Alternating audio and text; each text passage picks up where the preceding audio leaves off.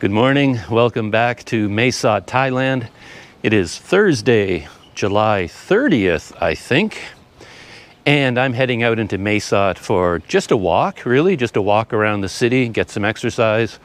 I picked a direction at random, and I think what I'm going to do is head that way, whatever that way is, and look for the spot where this main road crosses over the river that runs through Mae Sot. I've kind of gotten interested in the canal system that they built around this river, and I haven't seen, I haven't paid any attention to what the canal system and the river looks like over there in that part of the city.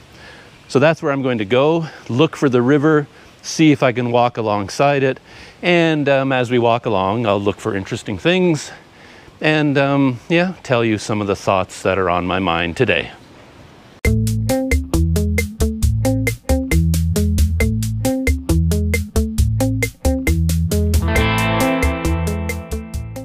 I'm still somewhat in hibernation mode, I think, here in Mae Sot.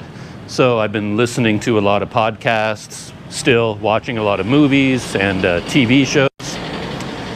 And uh, one of the podcasts that really stuck in my mind for some reason was another one from Radiolab.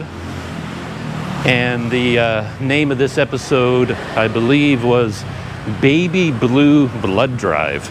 And I'll put a link to the uh, podcast uh, in the description in case you want to listen to it yourself. And oddly enough, despite the title, Baby Blue Blood Drive, this uh, podcast is about one of the most fascinating creatures on the planet horseshoe crabs. Like a lot of people, I've been interested in horseshoe crabs almost my whole life. From the first day that I saw one, you know, um, you know, saw them on TV in a nature show many, many, many years ago. I think one of the first things that jumps out at anybody when they look at a horseshoe crab is, of course, how strange they look and how dangerous they look, to be honest. I mean, they have like a suit of armor on top, you know, the carapace, or however you pronounce that.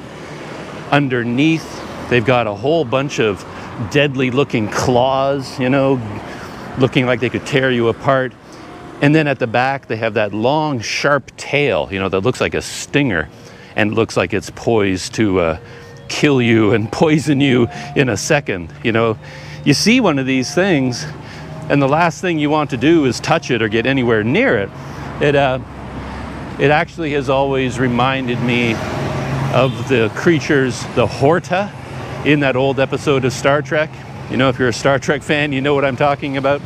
The silicon based Horta. And uh, yeah, every time I see these horseshoe crabs, I, I think of the uh, Horta. Anyway, one of the first things you learn in this uh, podcast is that despite these horseshoe crab.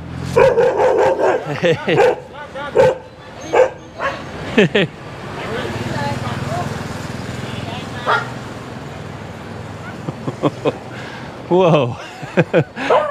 I don't know how much of that I caught on camera, but uh, rather large dog there. Yikes, decided to uh, take a bite out of my leg. He, uh, he didn't make it though.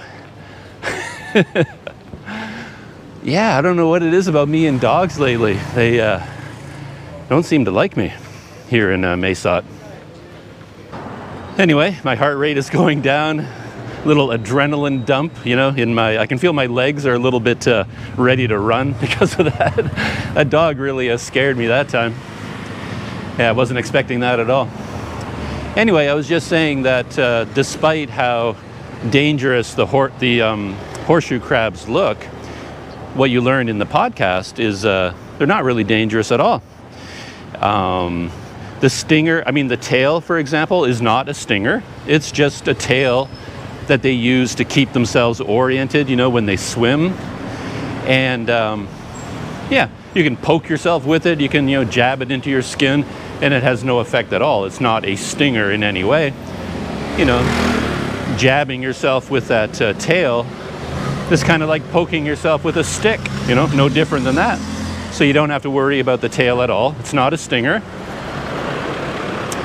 And in this podcast, they get quite close to the um, horseshoe crabs, and they pick them up and put them on their hand, and everyone in the podcast reacts the same way that these horseshoe crab with all their claws are very gentle and they put the crab on their hand and then the crab will just sort of grab their hand with their claws and just kind of hold them not too tightly but just sort of grasp them the way they describe it, it, it sounds like it's almost like another human holding your hand. You know, it's like they grab their hands and they just kind of hold them close, you know, like they're holding on to them for comfort or something. So, yeah, so the, uh, the tail is not a stinger. The claws are not very strong. They don't pinch you or bite you into your flesh or anything. You could actually put one on your hand and they would just sort of gently grasp your hand and kind of hug your hand, you know, and that's all they do. They don't have teeth in their mouth or anything like that, so they're not going to bite you. So, yeah, they're not uh, dangerous in any way. They're actually quite gentle, you know, friendly little creatures, which is, comes as quite a surprise, you know, when you listen to this podcast. Oh, check this out. I was walking along and I felt something really weird on my uh, sandal. I kept crying, trying to scrape it off, and I finally looked, and this thing was actually this piece of metal was sticking all the way into my sandal, and uh, it's like a nail or something, a, a, barbed wire. So I walked on that, and the thing uh, nearly jammed into my foot. anyway, so I had to uh, had to remove that. Well, I've reached the point of the main road where the river and canal is and I think the last time I was walking along the canal, I came from that direction and I stopped over there because you can see it's all fallen apart here and I, I couldn't go any further. So this is the furthest I've ever come. And I guess they're still doing uh, the repairs here. And then this is the side that I was interested in. And check that out more Disneyland jungle. That is so crazy. And uh, there's a um, sidewalk on this side and a sidewalk going along that side as well. So I guess I just have to uh, pick a side and see if I can walk along it. It looks pretty overgrown. All these bushes are like actually covering up the trail and over there as well. So, right or left? Which way should I go? I think I'm going to try right first and see how far I can get. The first barrier, but I think I can get past this pretty easily.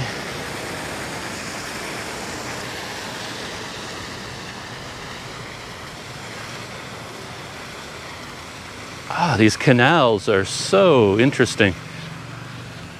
You can see, oh, it looks like there's actually a, um, a split here. Maybe the river goes in two different directions because it looks like there's a, a channel heading off in that direction and then one of them going straight. Oh,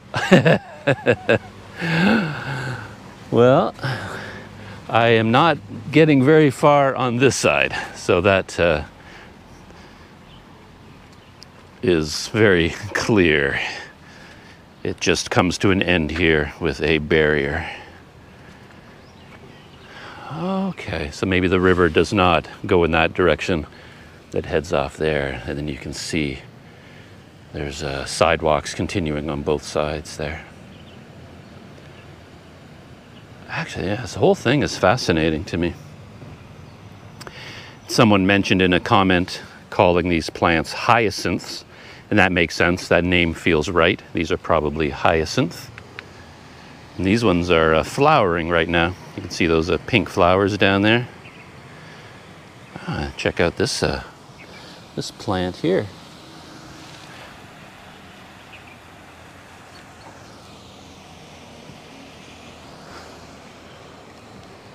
I find that is one uh, advantage to it's like one advantage I've discovered over the years of doing photography or now shooting video. You tend to be much more aware of your surroundings. So if I were walking around without the camera, I probably would not stop to look closely at plants and things like that. But because I have the camera, I find I'm always looking around and, and I see things more clearly you know, and I, and I I'm more interested in the things that I see around me, just because I'm uh, shooting video. So I'm back at the main road again. There's the bridge over the road, and that's the construction area over there. As you see, the water, runoff water from the city, you know, pours into this canal and then continues along its way. So I'm going to cross over to that side and then see how far I can get. And here's the trail on the other side. Not quite as blocked by plants, as you can see. Wow, okay, they got some security on this side. Must be a hotel or could be a residence. And they've got, uh, yeah, it looks like electric wire along the top there. And I'm not going to touch that wire to see if it's uh, currently electrified.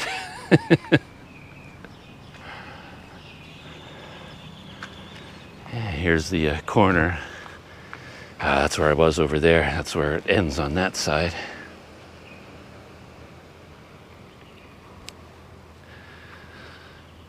Look at the uh, the jungle setting over here around uh, that giant tree in the middle. So far it's open, but clearly not many people ever use this walkway. Otherwise, you know, a plant like this one ahead of me would not be able to grow like that. It would be pushed back by people uh, trying to get past it. Oh man, it looks like uh, there's a reason for that. I'm not going to be able to get very far. Oh, looks. Oh, it looks like people have just made a trail on this side. Ah. But it looks like it dead ends over here too and there's a gap. Actually, uh, oh no, looks like um, if I'm careful, I'll be able to work my way across. What do you think? Let's. Uh, this is turning into a bit more of a physical adventure than I expected, but I think I'm up for the challenge. Let's see. Looks like people go this way.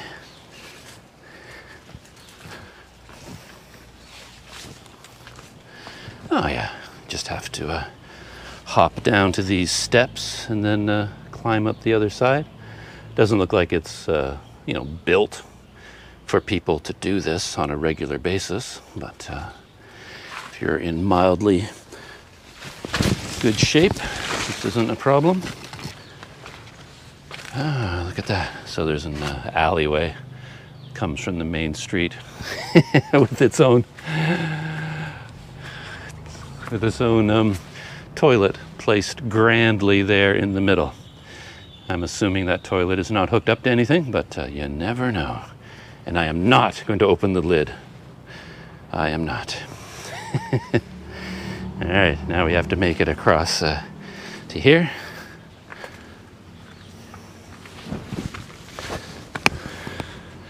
And there, we made it across the gap. And now we're sort of in uh, the back areas of uh, homes and businesses here, and uh, I'm going to keep my eyes open for any sleeping dogs because they're not going to be happy to see me. Yeah, look at this though. They even have a uh, nice uh, bench sitting here. So I'm going to take advantage of this bench and just sit down for a second, just for fun. My GoPro is uh, tilting on an angle over there, looking like it wants to fall over on its uh, three-way tripod. But uh, I think it'll be uh, steady for uh, a minute or two. Just to get back to uh, horseshoe crabs, we've established that they, they look dangerous, but really they're not dangerous in any way. They don't have a stinger. They, they don't hurt you with the claws. They don't have, you know, teeth in their mouth that will bite you or anything like that. Um, and the other really amazing thing about horseshoe crabs is how old they are, of course. Um, they've been dated back to 450 million years ago. They've seen fossils of these creatures around forever, basically.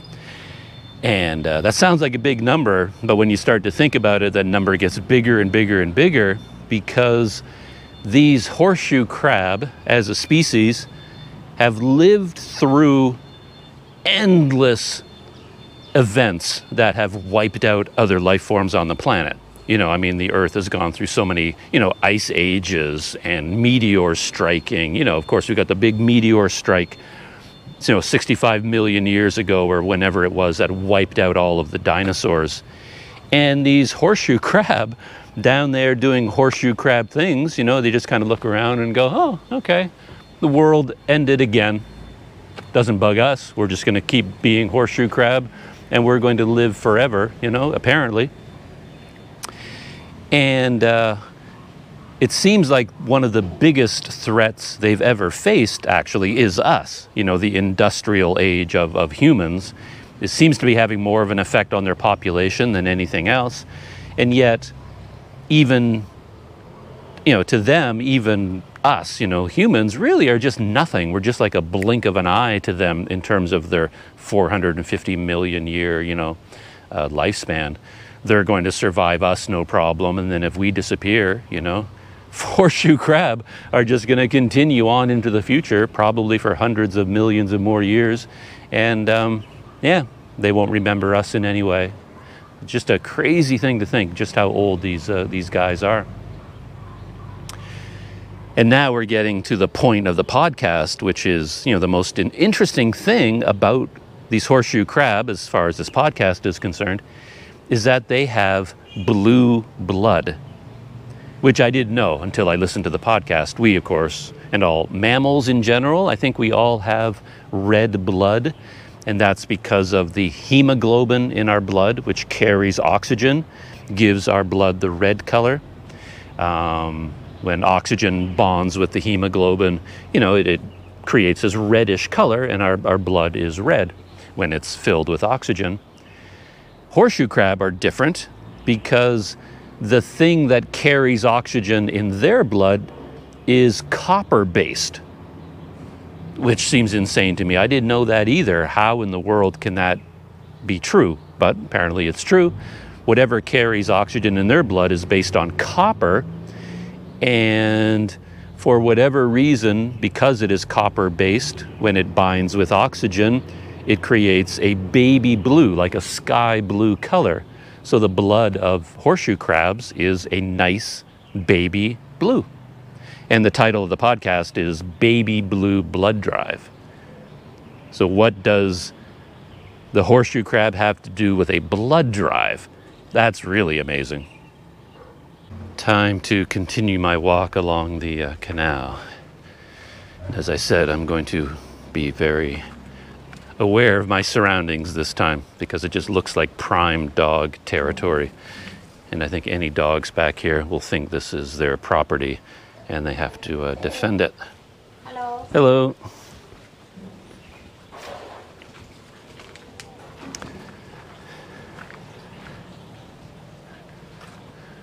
Ooh. it's like an obstacle course. Now you've got to jump over the mops. Oh, it's nice back here though. So quiet compared to walking along the streets. And, uh, oh, okay. I just noticed this wire strung all the way along. And of course, that would be for uh, laundry. And the uh, sidewalk on the other side is continuing the whole direction as well. So maybe as far as I can get, I'll be able to walk, cross over, and then come back along the other side. All right. I'm sort of speaking quietly because I feel like I'm, I don't know. I don't, Oh, there's me, me in the mirror. Getting a bit uh, hot and sweaty. Okay, this is the back door of a uh, restaurant. Uh oh. It's looking like another barrier that I may not be able to get past. Oh no, okay. I thought it was blocked completely there, but uh, be able to cut through there pretty easily. Okay, uh, horseshoe crabs have blue blood because of the copper in it, apparently. Which is, again, strikes me as kind of weird because when I think of copper, I think of orange copper wiring. So why would orange copper make your blood blue? But hey, This is what the uh, biologists are uh, telling me. And, uh, oh, got to duck down to get through here.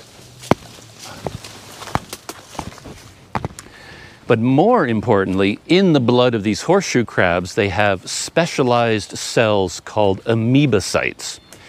And these amoebocytes attack invading bacteria and viruses. And apparently, these amoebocytes are like our white blood cells on steroids. They're much more effective and more powerful than the systems that we have in our body, or there's something unique about them, something special about them. When these amoebocytes detect an invading bacteria or virus, they somehow surround that virus with a gel which stops it in its tracks. You know, it makes me think of that scene from The Incredibles where Mr. Incredible is, you know, in, in, on the island, I think, the island fortress. He's trying to get inside. And he triggers an alarm, and all these guns come out and shoot him with these balls, these sticky balls that hit him and then start to expand. And no matter how strong, how powerful Mr. Incredible is, once these sticky balls expand and trap his limbs, he can't go anywhere and he's completely helpless. And that's what these amoebocytes do to invading bacteria and viruses they kind of shoot out this gel that surrounds the bacteria and holds them immobile. They can't go anywhere. And then that gives the defenses of the horseshoe crab time to attack it and, and immobilize it. And they speculate that it might be these very, you know, amoebocytes uh, is why the horseshoe crab have managed to survive for, you know, 450 million years. That might be their secret. And uh, humans have figured out a way to use this. So, again, this is something I knew nothing about. This is turning into a long horseshoe crab story, but I'll try to uh, wind it up. They found out that they can use this property of the horseshoe crab blood, these amoebocytes, to test for the presence of bacteria in other things. So, for example, you know, when injectable medicines were invented, like morphine, things like that, people often got sick, you know, because we're injecting something directly into our blood and there might be dangerous bacteria in the morphine solution. So, what people discovered in their laboratories doing all this testing is that if they used, if they extracted the amoebocytes from the horseshoe crab blood, they could develop this serum and they can test other things to see whether it has a bacterial infection of any kind. So, a huge industry has developed where they use this horseshoe crab blood to test medical apparatus. So, almost everything that has ever touched your body in your lifetime because of a medical procedure, whether, you know, a needle or anything like that, chances are it has been tested with horseshoe crab blood to make sure that there is no bacterial infection on the surface. Now, uh, baby blue blood drive, that comes from the fact that in order to get this horseshoe crab blood, you basically have to drain the blood from horseshoe crabs. And there are a number of large companies um, around the world, or mainly in the United States, I think, that do this. So every year, um, about 500,000 horseshoe crabs are taken from the ocean, brought to laboratories where they are strapped down with bungee cords and then they drain about one third of their blood into these bottles. And it's really amazing to see because the blood dripping into these bottles really is baby blue. This is the strangest thing. These images of blood being drained from these horseshoe crab in these laboratories is like some of the weirdest science fiction imagery you've ever seen. And I had no idea this was going on. This was all new information to me. And of course, over the years, procedures have been put in place to be as gentle and as protective of the horseshoe crab as possible. So I think there are rules in place that any horseshoe crab taken out of the ocean for it to have its blood drained must be returned to the ocean within 24 hours, I think. At least that's the rule in the United States. Um, But even so, yeah, it, it, it definitely has kind of a ghoulish quality to it, you know, when you think about it and when you see the images. But, uh, but yeah, this is all brand new information to me that uh, I knew nothing about that horseshoe crabs were, you know, collected, half a million of them every year to drain their blood, and then they use this blood to develop the serum that is used to test for bacterial infections in medical apparatus. And this connects with our situation right now because even as you know, all over the world, companies are competing to produce the first very effective vaccine for our current virus. Um, they're you know planning ahead and developing you know all these little vaccine vials where they're going to put the vaccine uh, uh, ultimately, and all of these vials have to be tested with this horseshoe crab blood extract to make sure that they're clean and are not carrying any kind of a bacterial or viral infection. So, kind of, yeah, this whole episode of the podcast connected with our uh, situation in the world right now. One last point about the horseshoe crabs um, they have developed a synthetic alternative which does the same thing as the horseshoe crab blood. So, as this develops, they may not have to harvest um, horseshoe crab blood anymore in the future. But I think this technique is still being developed and is still being perfected, and it needs a lot of approval from FDA and all these different agencies. So, uh, it's still the horseshoe crab blood is still the main source of this testing for bacterial infections. But in the future, they might switch over from that to a, a, a synthetic uh, version of it. So, anyway, that's the Radiolab podcast that has stuck in my mind this week. Still continuing along the uh, canal, the river, and a lot more water flowing here, you know, not nearly as much uh, hyacinth growing. And I assume this has been built for flood control.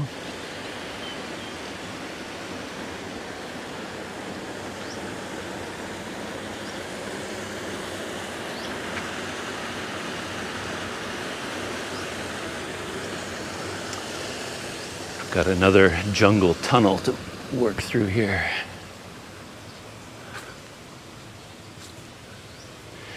I've been hearing so much about snakes in Thailand that I keep thinking with all this walking along the canal, I should at some point come across some kind of snake. Okay, that was embarrassing. a little insect, you know, landed on my uh, on my thumb here, and it just kind of um, scared me for a minute. So I shook it off. it must have been talking about snakes because I don't usually react that way. Um, insects don't bother me in any way. And usually when they land on me, I'm just kind of interested in them and I kind of go, oh, look at that insect. But this one kind of freaked me out for a second. and then he disappeared. Oh, this is awesome. It just goes on and on. This is probably the longest navigable section of a canal sidewalk I've come across so far in Mae Sot and I wasn't expecting this at all. I honestly thought it would just kind of peter out and then I wouldn't be able to continue any farther. But it's actually getting uh, wider and uh, contains more and more water the more I walk along it.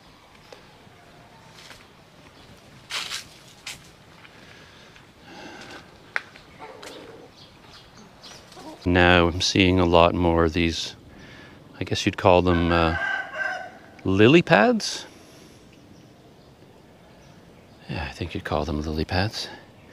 They don't look particularly healthy though, and I don't see a lot of uh, fish or any other animals down there. Whoa! Oh, I just uh, clicked on, hit something with my foot, and this appears to be a giant snail of some kind when I first saw it, I, I, I was just convinced it was uh, not alive anymore. But if you look at the bottom, you know, is that um, the, the living creature inside the shell? Yeah, maybe he's taking a nap during the hot part of the day, and then he'll start moving along.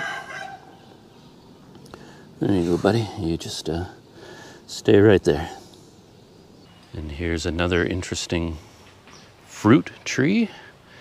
Some large. If I paid attention to fruit, I'd probably know instantly what these are, but I don't even know what they are. And apparently they're uh, edible. They seem to be taking care of them. They have some down there inside uh, plastic bags to protect them. And I have no idea what that could be. There's a plastic bag full of something that they've tied to the branch with tape. So I don't know what's uh, going on here. A lot of these houses along the canal get to be surrounded by all these shade trees, which is nice, and then these uh, bamboo groves as well.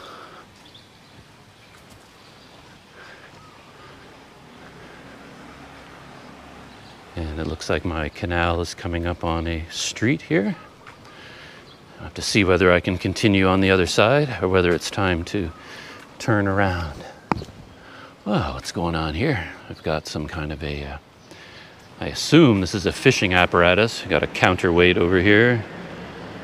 And then on the end of this bamboo, a rope or a wire going down into the water. So I assume there's some kind of a cage down there. Wonder what they're trying to catch. And they've got some of these machines here that uh, aerate the water, so maybe uh, there's been a little bit of fish farming going on here from time to time. At least I assume that's what those are.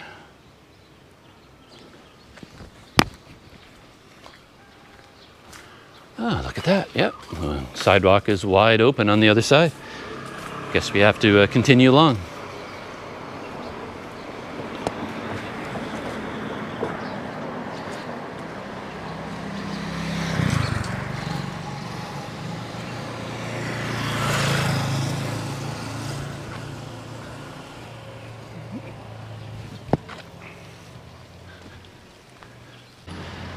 The other big thing that has stuck in my mind from my last couple of days of hibernation is, believe it or not, the movie Crazy Rich Asians. I'm a bit late to the party with that movie because I think it, it came out a while ago and made a big splash. You know, when it came out, everybody was talking about it. But I finally got around to watching it. And considering the type of movie it is, it really shouldn't be stuck in my head as much as it is. I mean, it's really just a light-hearted romp full of outlandish characters and, you know, crazy sets and crazy scenes, you know, crazy rich Asians, you know. The title tells you exactly uh, what the movie is like. So you wouldn't think uh, I would uh, be thinking about it that much, but for a variety of reasons, it really has stuck with me. And, uh, I mean, I might be taking it way too seriously, but I think one of the reasons it stuck with me is that I have a real problem with um, excessive displays of wealth or wasting money. Maybe that comes from um, being able, having the chance to go to a few countries around the world. And then when you see these, you know, a movie where it's pretty much all about how rich we are and how much money we can spend on totally ridiculous things. Like you know i spent 20 million on my wedding. Oh i spent 40 million on my wedding. And for a uh, you know bachelor party instead of having a beer at the local pub no i'm going to rent an entire ship and spend you know millions and millions and millions on just this one bachelor party. And for the bachelorette party of course. In the movie they rent out an entire island in indonesia and every guest at the bachelorette party is given a you know a five minute shopping spree at some expensive store that they set up just for this event. Where all of these uber rich people who are you know fantastically wealthy already suddenly they just turn into crazy people rushing into this place and just grabbing as much stuff as they can because it's all free uh, you know, I mean, I get it. You don't want to take it too seriously. It's just a fun movie. And I think we all enjoy sort of seeing the lifestyles of the rich and famous and wondering what it would be like to have, you know, a hundred million dollars or several billion dollars and You don't have to worry about the things that normal people have to worry about. But somehow the ostentatious displays of wealth kind of, you know, kind of put my teeth on edge, you know, kind of bug me a little bit when I'm watching this movie. And for that reason, maybe I took it a bit more seriously than I was supposed to. We're back in uh, hyacinth country, and we've even got some some soil has grown up here and a whole bunch of uh, yeah banana trees. Very cool. The hidden world of uh, Mae Sot.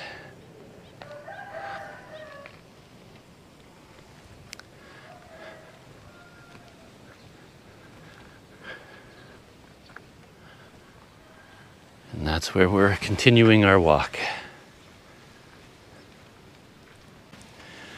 The story of Crazy Rich Asians is pretty simple. I think everybody knows it because you've seen the movie or you've seen the trailer. It's not a big secret. You know, the basic idea is that a, um, a woman, Chinese American woman, um, is hanging out with her boyfriend in the United States. And her boyfriend is from Singapore. And then one day her boyfriend says, Hey, why don't we go back to Singapore? You can meet my family. You know, my best friend is getting married. You can come to the wedding. And of course, our, uh, the heroine of our story, Rachel, she learns in stages that her boyfriend is far from a normal Singaporean. In fact, he is a member of probably the richest family in Singapore an old, very powerful, very traditional, uber rich, crazy rich family. And her boyfriend, who apparently is a bit of a jerk because he never told her anything about this and did not prepare Rachel for it in any way, just basically sprung it on her. You know, they're, they're, they're flying to Singapore and it's like, oh, by the way, you know, my family is incredibly rich and um, they're probably going to hate you, you know, because you are a, you know, low-born commoner from America, you know, and you don't have all the traditional Chinese values that we still hold. So yeah, don't worry about it. My family will hate you, but and we're super rich. But let's let's go to Singapore for my best friend's wedding, and that's basically the uh, setup of the movie. Before I say anything else negative that makes you think I hated the movie, I'll point out, you know, you know, a lot of the positives of the movie. And basically, it's just really fun. You know, it's an entertaining movie, a lot of uh, activity, a lot of crazy characters, beautiful sets. Um, of course, because they're in Singapore and they're trying to show Singapore in the best light possible. So in this movie, there has to be a solid 10 minutes of just the camera zooming in on the Marina Bay Sands and that uh, special garden area behind the Marina Bay Sands. You know, it, during the daytime and at night, I mean, it's a beautiful setting. And the movie made took full advantage of the modern beauty of uh, Singapore. Plus, of course, it's pretty much a 100% Asian cast with a lot of the uh, you know the actors that we're familiar with in, in North America, as well as a whole bunch that you know are not as well known. But it's quite you know interesting to see an all Asian cast in a big budget, you know, fancy movie like that. So yeah, the movie itself, yeah, it's a lot of fun and uh, beautifully shot, and yeah, very uh, very entertaining. Something you, of course, come across a lot in uh, Thailand and in Asia in general. You'll find uh, small shrines like this built up in uh, public areas. And this one is uh, in a very nice setting here, right beside the uh, canal. Got you know, carved wooden elephants down there, an incense pot. Yeah, it's very nice. And we might have reached the point where time to turn around. And I was hoping I could just cross over to the other side and continue back everything looks open and easy on the other side, but there's no access over there, at least no public access. Let's take a look on the other side and see what's going on. Ah, okay.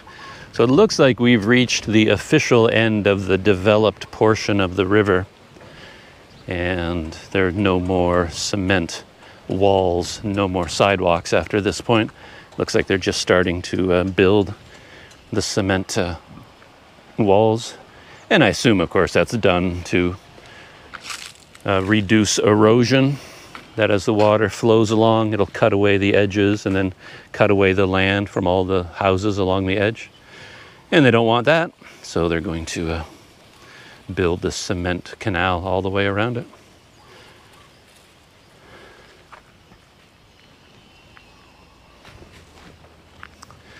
And this is the other side.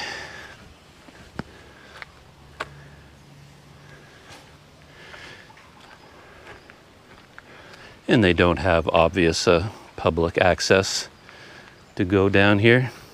But I'm just going to uh, hop over the fence anyway. From what I saw, this was like a very easy and open walk on the way back. So I'm going to uh, just jump over and uh, continue back along the other side. All right, we're on the other side now. As you can see, it was not, not exactly a, feat of superhuman agility to uh, hop over that uh, cement barrier there. So let's walk along uh, the canal on the way back.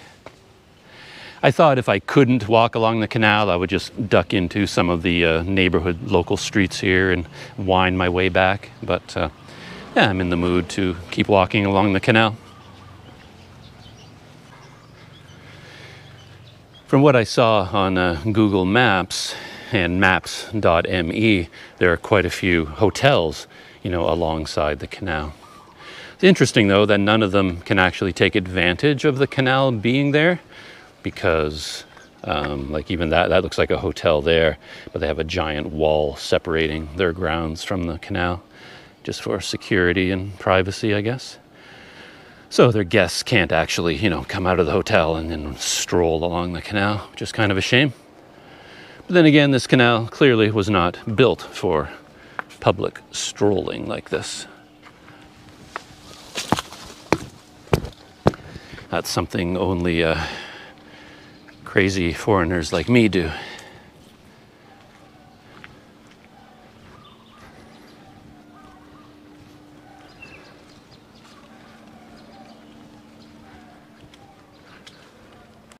I think the movie Crazy Rich Asians kind of bugged me a little bit too because there was such a gap between what seemed to be the message they were delivering and what they actually, oh, I don't know if I can continue on this side either.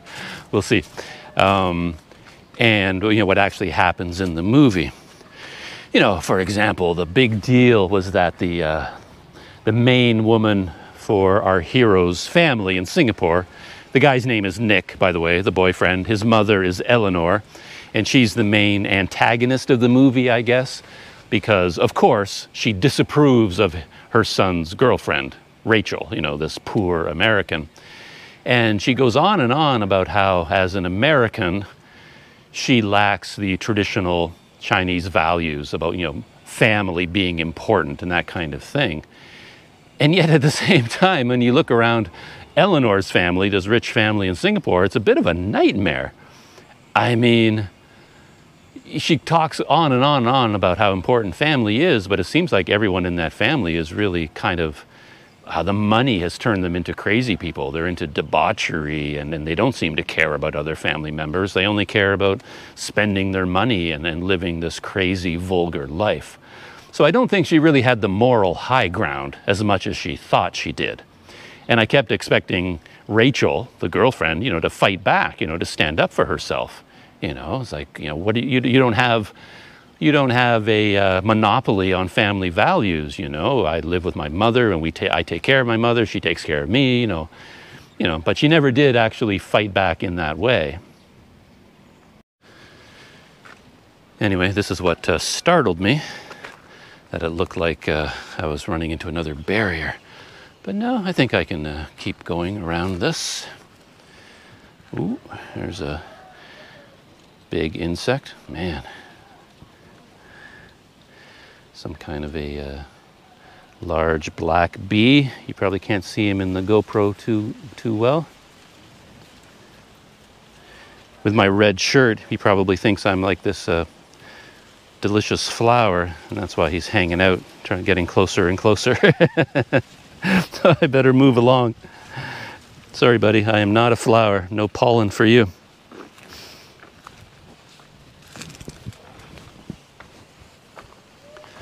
Well, I'm hoping I can uh, reconnect with the sidewalk at the other side of this uh, construction area. Ah, there it is right there. Oh, what's going on over here? I'm digging a hole for some reason.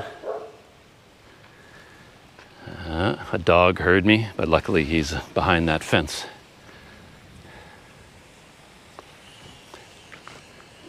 All right, back, back to civilization.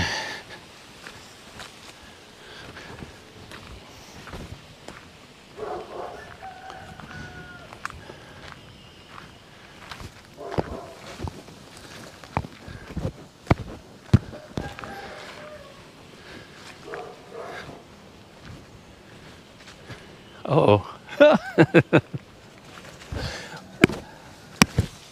no, look at that. I've been I've been barred. You shall not pass, this canal is telling me. That's where I want to go. but I'm not getting across here. Not a chance. There is no uh, no way. Looks like that has actually even been built up, all those branches put there, maybe to act as more of a barrier. I don't know. Anyway, that's where, where I want to be. And uh, this is uh, where I am. So, really, basically, I have to uh, turn back around. Maybe I can uh, find a way in over here somewhere. Do a Google map check to figure out where I am. Yeah, it's a beautiful area back here, though. Very nice, especially with this uh, blue sky with the clouds. I just check Google Maps, and I think I can uh, find my way uh, back to the river pretty easily. I think I can just go through this construction site, get to the road, and then a uh, little dipsy doodle, and I'll be back on track.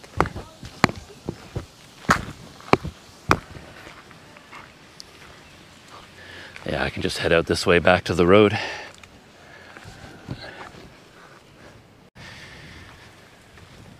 And Rachel, the girlfriend in Crazy Rich Asians, she kind of bugged me too, because the whole point of the movie was supposed to be that she was this simple, um, kind of independent, fun loving American, you know, very different from the traditional Singaporean style. And yet, she really wasn't that way at all. She really wasn't that much different from, you know, her boyfriend Nick and, and their family.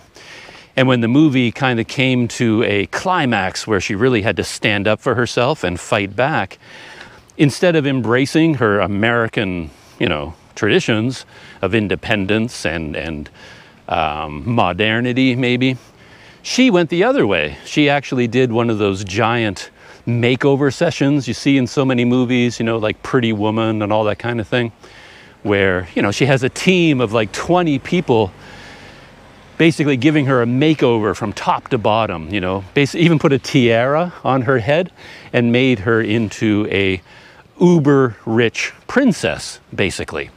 And then she made her grand entrance at the wedding. And suddenly, all of these rich people from Singapore were now impressed with her. And that really bugged me because the whole point was supposed to be that she was not part of this rich um, society. You know, she was supposed to be there to shake things up. And then when she fought back against them, all she did was dress up like one of them and basically outdid them, you know, on their own ground.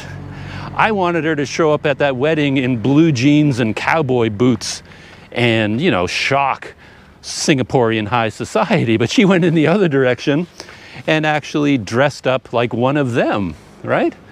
And I don't know, it just seemed like a weird message. Interestingly enough, there was one character in this film played by Awkwafina, and I love, I've come to love Awkwafina. Her character, I think, was called Peik Lin, and she was born in Singapore in the movie. um, but she, you know, spent a lot of time as a student or something in the United States. But she was much more American in tone and style than Rachel was. And I think the movie would have been much more interesting and much more fun if she was Nick's girlfriend instead of Rachel. Because, you know, she, she really was a fun loving and, and really independent and unique kind of person. You know, this character that Awkwafina played, I loved her. She stole every scene she was in. To my mind, she stole the whole movie.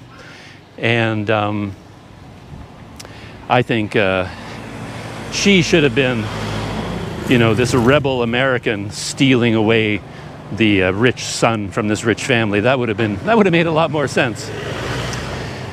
But anyway, the other thing that kind of bothered me about Rachel is that uh, they never stopped telling us that she was some kind of a genius. You know, she was a economics professor at NYU, I think. And over and over they kept telling us like, "Oh, you are, you know, you're an economics professor. You know, you must be so smart." And everyone agreed about that, and she agreed as well. You know, everybody agreed that she was like super intelligent, but she never ever did anything to show that she was intelligent in any way. Quite the opposite, in fact. I think the only time economics came up was when she um, had this conversation with a woman about microfinance. And this was supposed to, you know, prove her credentials as, as an economics professor. And I hate to break it to her, but, you know, I'm not a genius and I'm not an economics professor. But even I know all about microfinance. You know, I even know about the Bangladeshi economist who won the Nobel Peace Prize for inventing microfinance. It's not like this is some sort of a you know big secret. so anyway, this idea that Rachel you know was this genius economics professor, they kept saying it, but there was nothing about her that you know illustrated this to me in any way. So she was kind of a uh, problematic character for me in the movie. I've reached the intersection. It's a beautiful uh, temple over there. But uh, I'm more focused on the canal today. And if I'm right, I think I can turn here and then rejoin the canal heading back.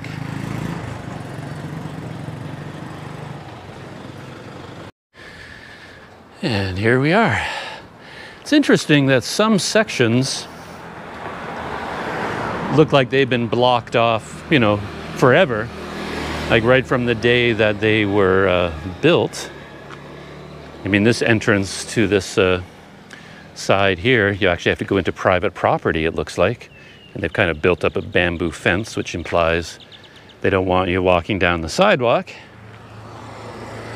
But on this side, check it out, wide open. You know, it's just uh, no barrier at all, and it's just a nice wide sidewalk that apparently anyone can walk down. Yeah, I'm not sure why. Different sections are treated uh, differently. We're right back at the spot where I saw the, uh, the some sort of a fishing setup over there with probably a cage down at the bottom. And we're going to walk this way.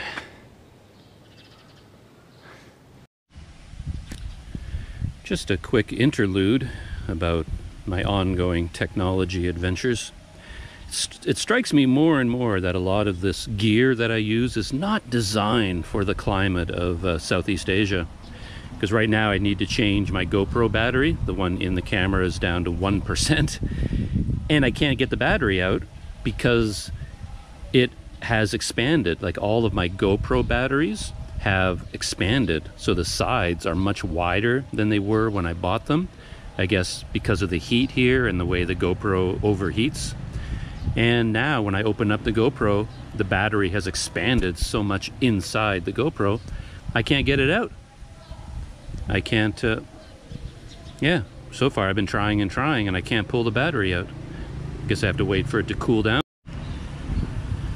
Well, after a few minutes I was able to pull it out. I don't know if you can see it or not, but this battery, the sides have burst open. You know, when I pinch it, it closes quite a bit. You can see the edges are open. So basically, this battery and a couple other of my GoPro batteries, which are not cheap, by the way, um, basically are kind of useless now because the heat caused them to expand and they're, you know, soon they're going to explode, I think. Oh well, one dead battery.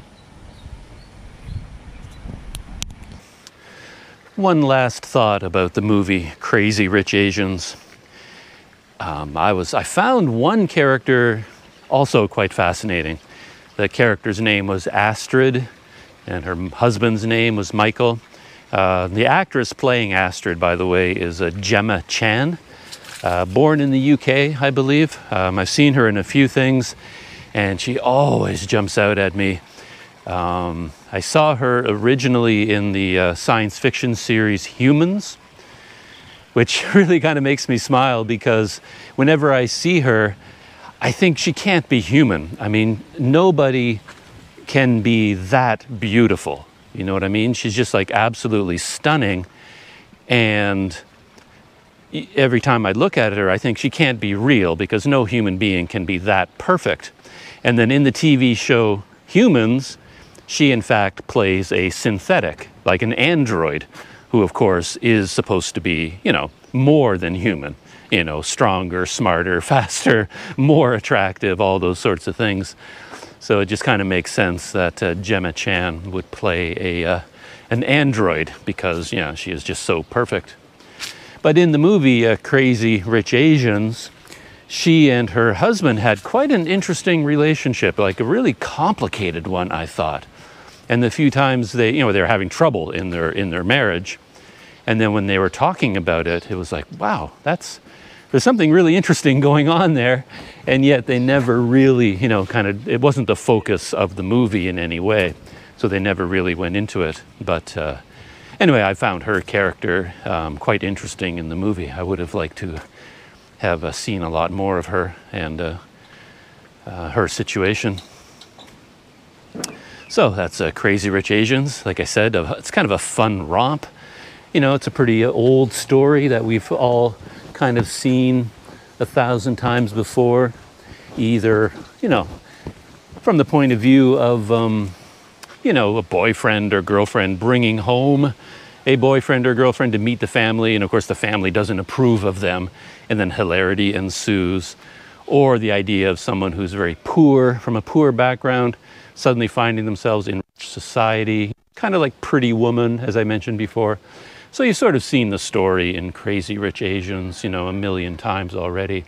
But the setting of Singapore and the over the top nature of a lot of the scenes kind of made it interesting for me. Um, like, if you if you've seen the movie, you know what I'm talking about when I reference the wedding, the centerpiece event of the movie and the scale of the wedding, the decorations in the church, it was just unbelievable. You know, it was really uh, quite something to see. I don't know whether it was vulgar to the point of being horrible or so amazing to the point of being wonderful. I'm not sure which way I would go on that, but either way, it was uh, pretty incredible.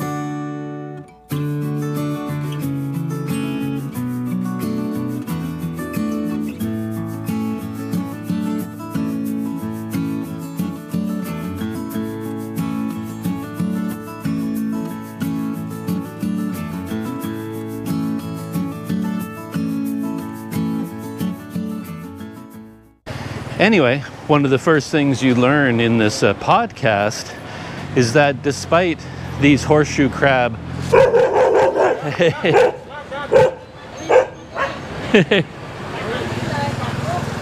so I walked on that and the thing uh, nearly jammed into my foot. And I'm not going to touch that wire to see if it's uh, currently electrified. I'm not going to be able to get very far, but it looks like it dead ends over here too. I'm assuming that toilet is not hooked up to anything, but uh, you never know. And I am not going to open the lid. I'm going to keep my eyes open for any sleeping dogs. My GoPro is uh, tilting on an angle over there, looking like it wants to fall over. It looks like prime dog territory. It's like an obstacle course. Now you've got to jump over the mops. Uh oh. It's looking like another barrier that I may not be able to get past. In all these different agencies, so uh, it's still, I should at some point come across some kind of. and it just kind of um, scared me for a minute, so I shook it off. Hit something with my foot, and this appears to be a giant snail of some kind. Large black bee. You shall not pass, this canal is telling me. I just check Google Maps, and I think I can uh, find my way. Ugh. I can't, uh, yeah, so far I've been trying and trying, and I can't pull the battery out. Oh, I forgot about this. On this side, it also ends. Oh no. and you can see, you know, how badly it's scraped up my arm and there's like a real allergic reaction going on. Pretty. the dog, the dog thinks it's a private property. And you can see that they're very popular with these hornets or wasps or whatever they are. Clouds of them. Ooh. Got somebody here uh, hunting something in the river. It's got like a, a homemade uh, gun.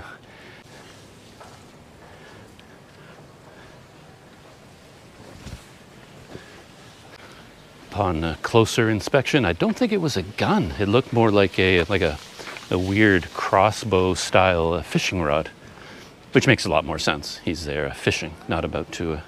Uh, as I was walking up on the guy, what I thought was a gun, you know, was like pointing directly at my chest, and I thought, oh, that's not uh, not safe.